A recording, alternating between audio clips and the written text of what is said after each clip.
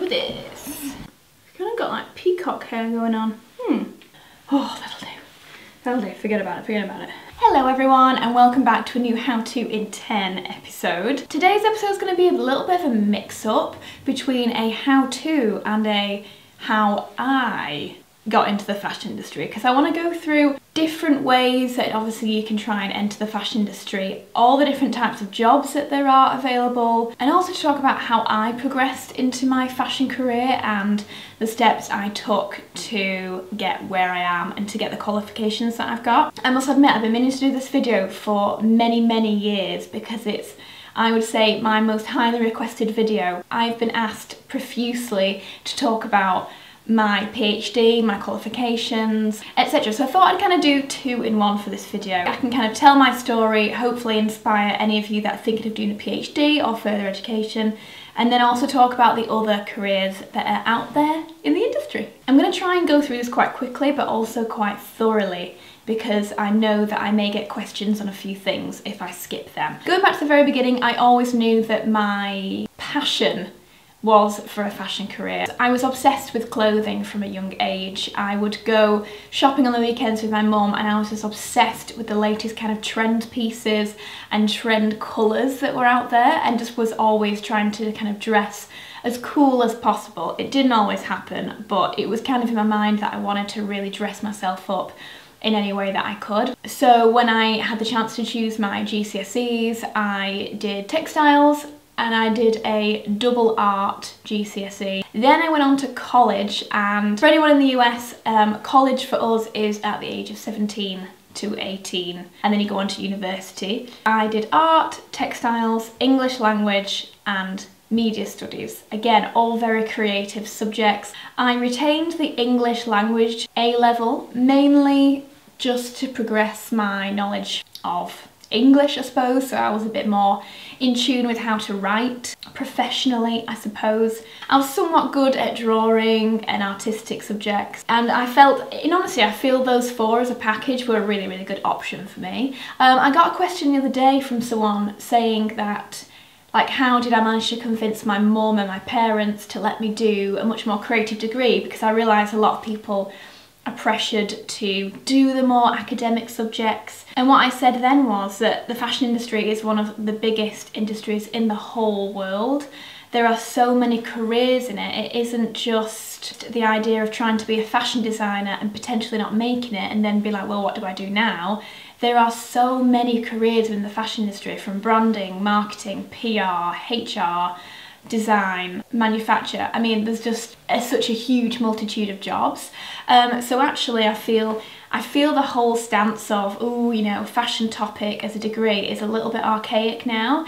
And actually, the number of universities that do fashion degrees is just enormous. So it just shows just how popular they actually are. So in the second year, you always drop a subject. So I dropped media. But yeah, I got two A's and B, which meant that I got enough points to go on to the University of Manchester and do the Design Management for Fashion Retailing course. Manchester University for me was the best years ever, the most incredible prestigious red brick university. It was also in my nearest city because I'm from Wigan and Manchester is literally half an hour away on the train. So it suited me fine. It meant that I could go live this life away from my parents whilst still kind of having them at arm's reach if I needed to go back. Turned out I barely ever really went back apart from my kind of summers um, or Christmas holidays, but otherwise it was just the freedom that I wanted and it just ended up being the most kind of defining years of my life, I think, overall. Like I met my best friends, I met Alex there, I very much grew into the person I am now, I gained all my confidence from there. So um, first of all, if you are thinking going to university and living in at home or living out and going living at your university, then I would so highly recommend take the plunge, move out of home and just go and get some independence because it's the best years of my entire life. Okay, I mean these years are fantastic too, but they were just so much fun and I would give anything to go back even just for one day to those years and relive them again. The courses have slightly changed in name and they kind of got really modernised when I was still working there. So I think my course was changed to fashion retailing, but there's also a fashion branding course, a fashion marketing course, and there is another one as well, I can't remember. Has it been that long since I left? Oh my gosh. Um, anyway, so I thought I'd bring this and show you. This was my dissertation, my third year dissertation. What marketing communication techniques does the high street retailer Topshop adopt in order to market its products to its target consumers? So marketing was always the thing that I was most interested in. Oh, you know, I really put so much effort into this. Like I made like pages for each section. They all had a lovely like photo page thing to start and yeah, it was all it was all about Topshop and what um, marketing methods they use to kind of pull in their consumers. That's always been my highest interest. Now, during the time I was at university, I also did some placements I just really wanted to progress my knowledge of the more working environment and working in offices or with the right people. And again, I so, so recommend doing this if you're able to just get yourself a three week placement up to a year long placement. A lot of universities will offer the chance to go out on your third year and work it in the industry and then come back for your fourth year. I wanted to do that. In honesty, I couldn't find a placement that was right for me. I must admit at the time I wish that I was given a little bit more help with that. I just didn't know where to look, who to speak to. Sometimes it can be about who you know, but at the same time, I really think that networking and getting your name out there and speaking to people does massively help and just emailing, especially now, social media back then wasn't really well uh, in fact it wasn't really a thing. Instagram only started in 2010 and i was at uni in 2007 so this will have been 2000 end of 2008 that i was looking for a placement and so there wasn't anywhere that you could go to Instagram and stalk who works at the marketing department of such a brand or, you know, there wasn't that way of speaking to people in the industry as there is now. So if you're looking now, you're in a much better position than I was back then. But instead I did a couple of internships. I did a couple of months in London working with Roxy Quiksilver because that's who I worked for in Manchester. That was my part-time job. I worked in the Roxy Quiksilver store. So I managed to get myself a placement over in their London headquarters and learned all about the marketing of Roxy and that was absolutely awesome. I learned so much from that. Also really throws you in at the deep end, like having to ring people, um, organise things, you know, it may sound strange, but so many people have especially now because we're always on our phones and texting most people hate picking up the phone and I detested it. I was like, please don't make me ring them.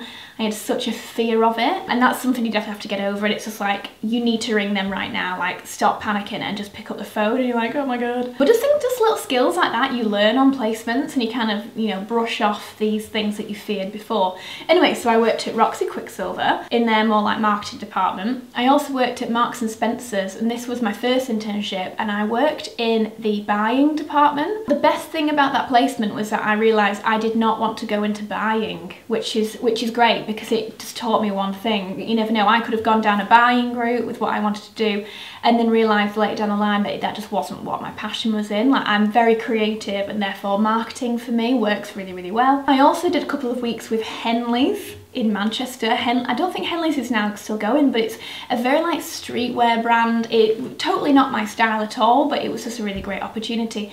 And again, I learned a lot with the marketing team there. So I did Roxy M&S, I did Henleys, pretty sure I did another. But anyway, my point is try and do as many placements as you can. It's fine if you don't get a year-long placement because it was never really a detri detriment to me because I also did my own placements learned a lot on those. It helped bulk out my CV. Oh, I know what I did. I know what I did. When I was in uni as well, I worked, it was like one day a week, I worked for a digital marketing agency called Return on Digital in Manchester. And again, it taught me about a very different side of marketing that I didn't know about. I mean, they kind of specialise in the digital sector, so SEO, P PCP, I always get this wrong, P. Again, that helped me realise that I preferred the more creative side of marketing, more advertising side than the back end and the digital um, arena. So those were the career aspects. Now, when I finished my degree, there was an opportunity that came up to do a PhD, which I went for.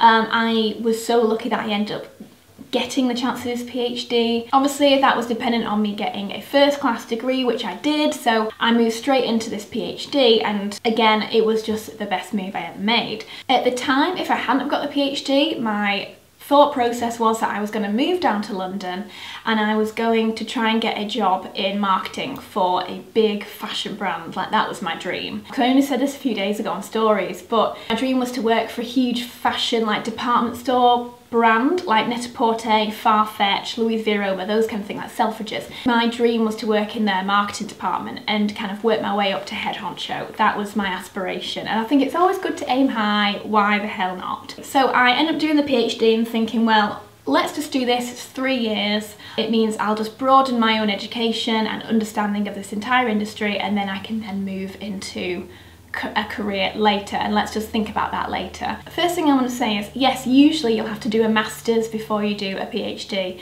I'm not overly sure why but for me I was able to move directly into the PhD and it was almost kind of this rumour that was kind of spoken of that if I'd finished after a year with the PhD and decided it wasn't for me then I would have got my master's for a bit just like a one year thing but for some reason I was able to expand it out to three years. I don't know why that is, um, and I feel very lucky that I got a chance to do that because it meant I could cut out one year and I got a PhD at the age of 24. So this was my PhD here that I got in 20, 2014. Blimey, God, it feels like so long ago now. It's enormous and I cut this down. I think I got, I had about 120,000 words in here and ended up cutting it down to about 80,000 which was really, really difficult. My thesis was the emotional and behavioural implications of mobile commerce design. So I was researching how different people reacted to mobile shopping and how it made them feel and behave the point being was to help instruct retailers as to how to design their mobile channels in order to increase the chances of someone buying or being inspired or wanting to browse more or shop more. That was kind of the key purpose of my thesis was to almost enhance the understanding of retailers as to this brand new mobile platform. I mean now you know, it's moved so, so fast since then, but at the time this sort of research was extremely underdeveloped and it honestly, it was kind of hard for me to do this because no one had written about mobile commerce at the time. So in a way, I was like, right, I want my research to get out there and, you know, talk about it. And I was, I was thrilled that I ended up in the Fashion Marketing and Management Journal in 2013 and I had two of my, uh, two articles published. So if any of you guys are at fashion, doing a fashion uh, uni degree and you can go on Emerald, you will find me, just I mean just search for Magrath, there it is. Marketing design elements of mobile fashion retail apps and I'm pretty sure that right after it is my first one. There, yeah the back to back and then the branding design elements of fashion mobile apps. So that was kind of everything that I was looking at. Anyway, I'm just trying to think of all the questions I've been asked in the past. Like my PhD was three years. I had my own office at the university. It was, I mean, it was awesome. There's a couple of us doing different fashion PhDs and we had, it, it had no light. We were like down in the basement of this beautiful building at, on Sackville Street, the Sackville Street building.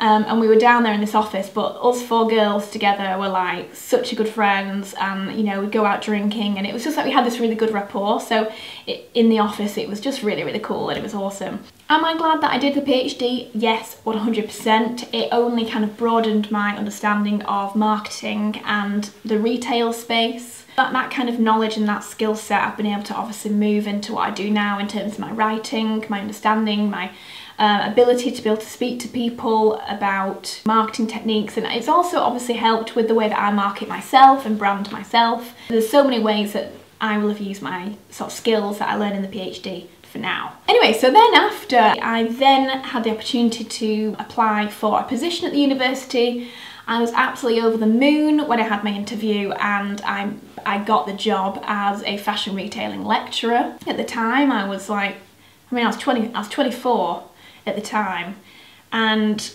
you know I had a classroom sometimes of 120 students that I would teach fashion retailing or fashion marketing. I'd like to think that I had a fantastic rapport with my students. The actual teaching aspect, standing up for two hours and teaching a lecture was a really amazing experience and then at the end of the year when you get like the exam scripts back and you're marking everyone's exam scripts and stuff it's yeah it's it's a really fantastic feeling when they're writing back all the things you've taught them. It's very very cool. And I'm honestly I feel so so honored that I got that position.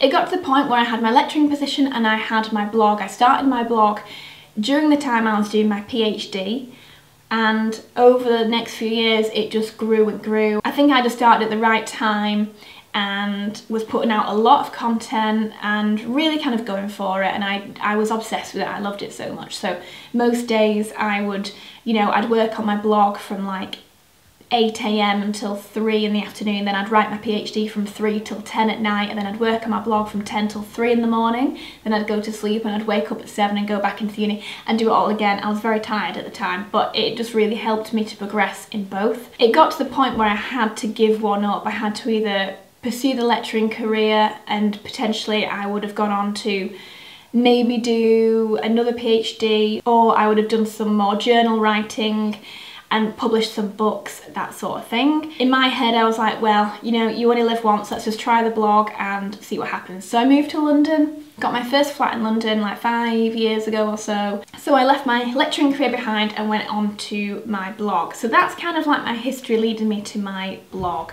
Um, I mean, I've spoken about some of the things that I did in previous how-to videos about how to grow your channel and things a lot of the things I mentioned in there are what I did, like the consistency, the continuous posting, um, the networking, all of that is, is kind of how I got to here. And I think it's just a lot of hard work, a lot of dedication, a lot of sleepless nights. A lot of the time you don't have your evenings, you'll be working because you've got so much that you're trying to do and you're constantly thinking about your brand and how you build things and, and securing your future. So it's you know, it take it takes a lot if you want to go into a career in fashion blogging. You know, it's a full time and then some career if you really, really want to excel and you know, kind of progress further. Okay, I just wanted to go down quickly and get hold of my book. So if any of you guys are new here and you're watching this video and it's the first time you see me, you may not uh, realise, but I wrote a book a couple of years ago now, The New Fashion Rules. Um, and a lot of what I'm about to kind of talk about and speak about is all in this book. I just ran from downstairs, so forgive me a second. So I'll be honest, I kind of wrote this book with fashion students and potential fashion students in mind, plus those that just adore the fashion industry at whatever age you are. So honestly, whatever age you are, this book is will be fine for you. It isn't written for a younger audience. It's written for adults, but the idea was to really give a lot of information that would be useful if you are doing a fashion course or if you're interested and very inspired by fashion. So there are there is a lot in here about careers and the industry and the history and how it's it's all about how it's changed isn't like a fashion design book, it's not a fashion styling book. This isn't going to tell you how to what to wear with your white t-shirt. This is all about the fashion business and the industry. And that's the way I wanted it to be because me, my, my degree was in fashion business, it wasn't in fashion design. That's another point to make as well, is that when you go and do your degree, there are a lot of different degrees out there, whether you want to go down a business route or if you want to go down a design route.